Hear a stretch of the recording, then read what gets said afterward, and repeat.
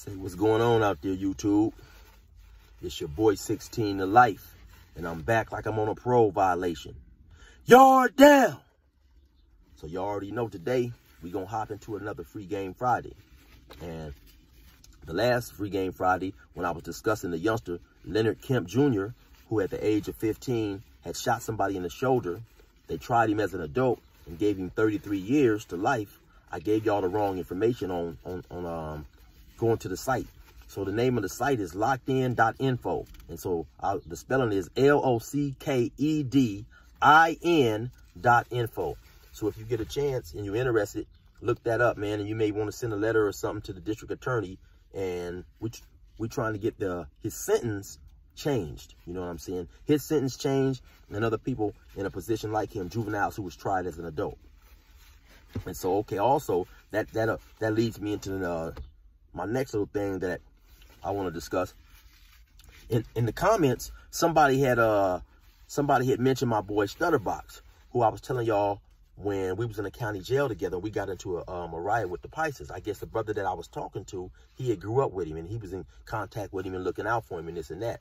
So I asked him, I said, hey man, do you know where he at? And uh, is he coming home anytime soon? Because I was under the impression he had got sentenced to 25 years to life.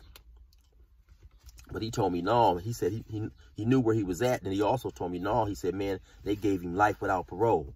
And when he said that, to be honest, it just really, the effect on me was extremely different because, you know, at one point in time, they uh, when I was initially arrested, they was talking about giving me life without parole. And just to also to know that I was with this dude, we was we was in the county jail together, and he wasn't nothing but about 20, 21 years old and his his charges was similar to mine. That was the thing that really that really affected me the most. His his his charges were similar to mine. You know what I'm saying? Actually, he had less charges than I had. You know, and uh, everybody's asking, what did I go to jail for? I went to jail for several shootings, and I'll talk about them a little later. But anyway, he had less than I had in terms of, of, of, cases, you know what I'm saying? And he ended up with life without parole. So it just made me feel extremely blessed. It made me feel extremely lucky and also made me feel sad for him, you know, knowing that man, you know, he he threw his life away. You know what I'm saying? And and I think that sometimes when we out here and we when he when we are in the streets and we young, we feel invincible, like can't nothing happen to us. You know, that regardless of what we do, we gonna always get caught. I mean, excuse me, we gonna always get away and we ain't, we ain't gonna never get caught. And I can tell you from experience that when you out here in the street, the more you do, the more your name becomes rank, the more your name starts ringing in the streets, people in your circle become a little fear. They become a little fearful of you. You know what I'm saying? They stop wanting to hang out with you as much. You know what I'm saying? They start, you know, because now they they they seeing you as somebody else different. You know what I'm saying? And you never know who starts giving the police information about you and all that type of stuff. You know, it just it just it's not this shit is not like it doesn't go the way we think it's going to go. You know what I'm saying? We always think we can get away. I remember one time my pops, he told me, you know, now, before I became 18, my dad was trying to get me off the block. You know, he'd come up there looking for me and trying to chase me off the block. But once I, once I became 18, only thing he told me was be careful. You know what I'm saying? And I remember one day him telling me, you know, be careful. He said, because they giving, they giving life for people who getting convicted of murder. And I told him, oh, don't worry, dad. I ain't, I ain't going to get caught because when we're young and we're doing things and we get away with them, now we have a tendency to believe that we always going to be able to get get away with them. And like I said, you can run around, you can shoot the town up, man. You can do this shit for two, three years. But only time they got to catch you is one time. And once they catch you that one time, it's curtains, you know. So we also got to be mindful of that, man. And somebody had asked me in the comments, what was one of the worst things you experienced in prison? And and for me, uh, luckily I was I was blessed with a I was blessed with a good personality. Like the way y'all see me on here in person, I'm 10 times more. You know, everything is funny to me, man. I, I see I see life in a in, in, in like a real, you know, a lot of comedy. You know, I always I always find things to laugh at. So, but so having a bless, you know, having that personality made it easier for me to uh to do my time. And then also I felt that going to prison was an extension of the street. So I accepted it because I knew it came with the territory. You know what I'm saying? So th that's another thing that helped me to to get through the time. But one of the things that was always hard is when I went on visits. And what was hard for it is not, it wasn't necessarily hard for me per se, but it was just the realization of what I was doing, you know, when, like when I, when I would go on visits, you know, especially just with witnessing other people's families. They would come through there. They'd be so happy, so excited to see their loved ones, you know, whether it was mothers, brothers, fathers, you know, sisters. They'd come in there. Sometimes them and both the convict or the prisoner they was visiting, they'd both be crying. These would be like tough dudes you see on the yard walking around, gang banging and doing their shit, fighting and squabbing. But when they hit that visiting room, man, it's it's it's extremely different, you know, and it made me realize the effect that I was having on my family, you know, um, the pain and hurt that I was putting them through. And especially when it was time to leave, especially when it was time to leave, man, you'd have people in there, the little kids and the brothers, they'd be crying and not wanting to go, not wanting to leave their loved one in there, you know, not knowing when they would see him again. Sometimes some people may have not seen their family for years, man, five, six, seven, eight years, you know what I'm saying, depending on where you might be incarcerated at. They may send you to a prison that's nine, ten hours away and your family don't have the means to come see you. And so when, when my family would come see me, you know, when they would leave, you know, they would just be so sad. And it would, it made me realize the pain that I also caused my family. You know, when we out here in the streets and we, and we doing what we doing, sometimes we have the intention to hurt others.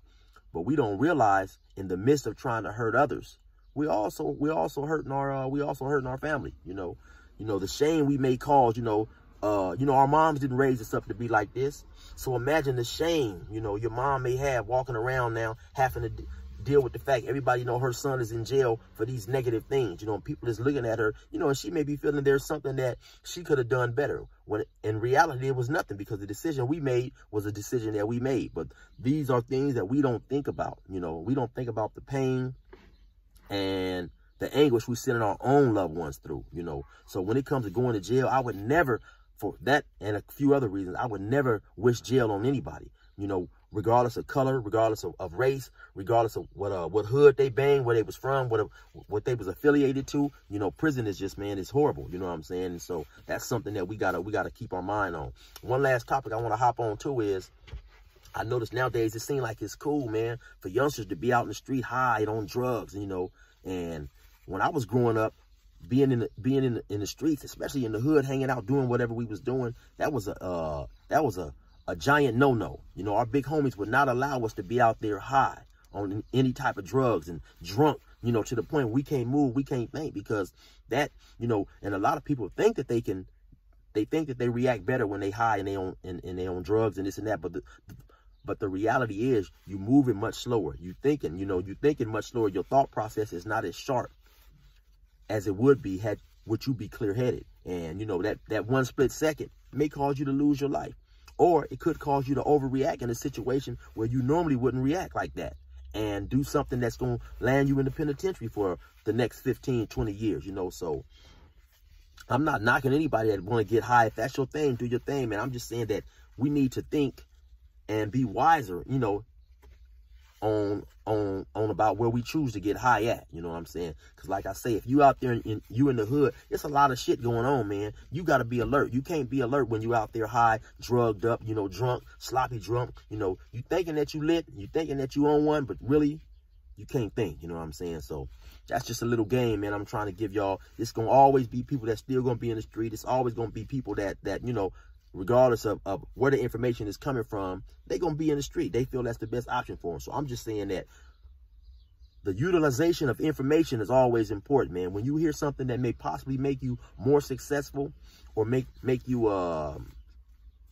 last in whatever field you're doing, man, it, it's only common sense to take it. And uh, I honestly believe that's one of the reasons that you know I survived the things that I survived through. Because when I would hear some somebody say something that sound like it could it could be beneficial I, I take it to heart. I wouldn't just hear it in one ear and let it go out the other ear. Man, I, I would use it. I would, you know, I would do what I heard and I would I would apply it in certain situations, man. And I honestly believe it, it helped me get to the it helped me get through the penitentiary. It helped me survive in the streets in, in a whole lot of situations, man. So now I'm back just trying to, you know, trying to pass some of this game forward, man. Like I say, the, the ultimate goal is to get up off the street, you know. But I know that's not always I know that's not always going to happen for everybody, man. So hopefully y'all pay attention to a little bit of that.